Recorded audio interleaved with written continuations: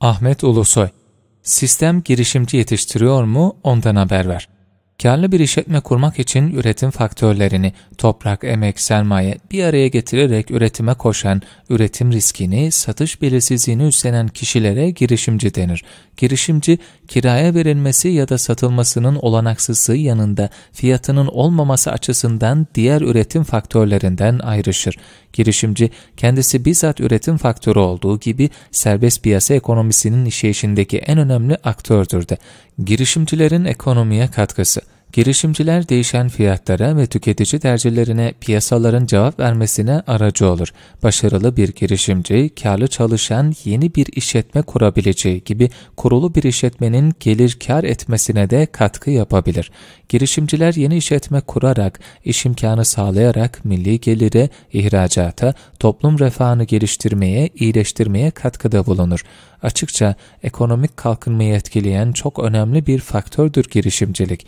Girişimcilik yeniliği teşvik eder, üretkenliği artırır, yüksek verimlilikte çalışan yeni firmaları ekonomiye ekler, işletmeler arası rekabeti artırır, daha kaliteli ve ucuz mal ve hizmetler tüketilmesine vesile olur ve üretken, çalışmayan firmaları da piyasadan dışlar.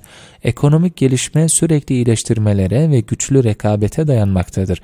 Dönüştürücü ve yıkıcı yenilikler tamamen girişimciler tarafından ortaya konulur. Modern ekonomi tarihine bakıldığında uçak, demiryolu, otomobil, telgraf ve telefon, bilgisayar, klima ve benzeri radikal yenilikler girişimciler sayesinde tüketime sunulmuştur.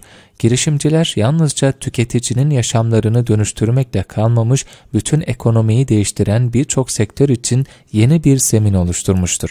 Girişimciler yerleşik endüstrilerin kurallarını yeniden tanımlayabilir. Girişimciler aynı zamanda sosyal değişmeye de sebep olur. Mal ve hizmet üretiminde kullanılan yeni teknolojiler sayesinde girişimciler geleneksel eski sisteme ve teknolojiye bağımlılığı azaltacak bir sistem getirirler. Bu sayede yaşam kalitesi artar, daha fazla ekonomik özgürlük söz konusu olur.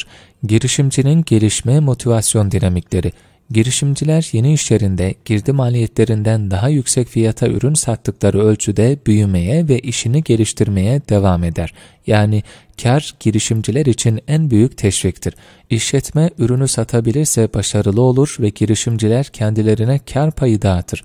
İşsizlerin serbest meslek sahibi olmanın gelir elde etmek için en iyi fırsat olduğunu düşünmeleri de girişimciliği teşvik edebilir.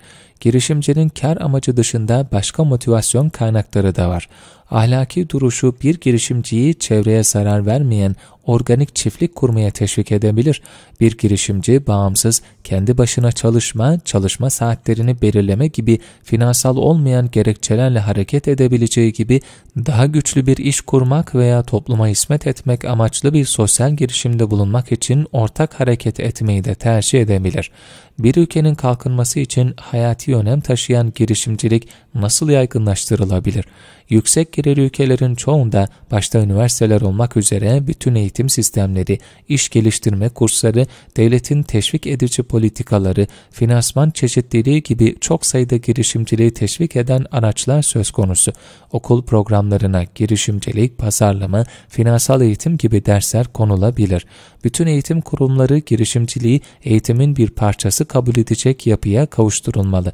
Bugün milyonlarca üniversite mezunu genç KPSS kurslarında heba olup devlette işe girmek için bekliyorsa bunun birinci derecede sorumlusu üniversite eğitim sistemi ve üniversite hocalarının yönlendirme yetersizliğidir.